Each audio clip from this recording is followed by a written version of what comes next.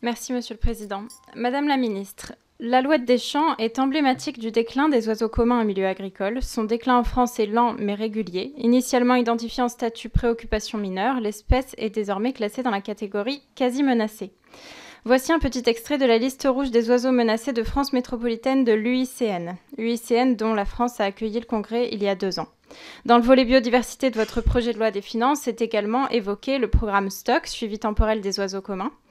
C'est en effet l'indicateur que vous avez retenu pour suivre l'évolution de la biodiversité ordinaire.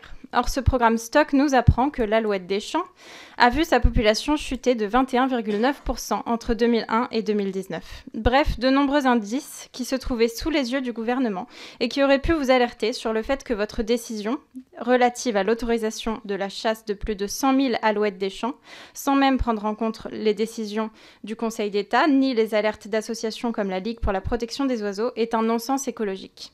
On se demande donc en faveur de quoi ou de qui le ministère de la Transition écologique assume de prendre ces décisions, si ce n'est pas pour l'intérêt général.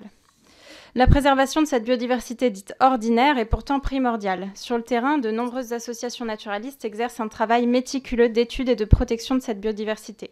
Et dans nos écoles, sur nos écrans, encore de nombreuses associations nous informent et sensibilisent pour la protection de notre environnement. Or, ces associations, comme la plupart du monde associatif d'ailleurs, indispensables à la bonne santé de notre société, alertent maintenant depuis plusieurs années sur la diminution des subventions qui sont destinées à leur fonctionnement et dénoncent un système par appel à projet qui les oblige à rentrer dans les cases et qui ne correspondent pas toujours aux réalités du terrain. Or, ce n'est pas le budget insignifiant prévu pour le volet biodiversité en tant que tel, de seulement 300 millions d'euros pour toute la France, je le rappelle, qui va permettre de régler ce problème. Et ce n'est pas non plus le nouvel amendement, amendement déposé dans le projet de loi des finances proposant la suppression de l'avantage fiscal aux associations lanceuses d'alerte qui va arranger la situation. Cet amendement menace encore davantage la survie et la bonne réalisation des missions de nos associations de protection de la nature. Nous attendons donc une, une position claire du gouvernement contre cet amendement et la mise en place d'un programme détaillé de soutien aux associations de protection de la biodiversité. Je vous remercie.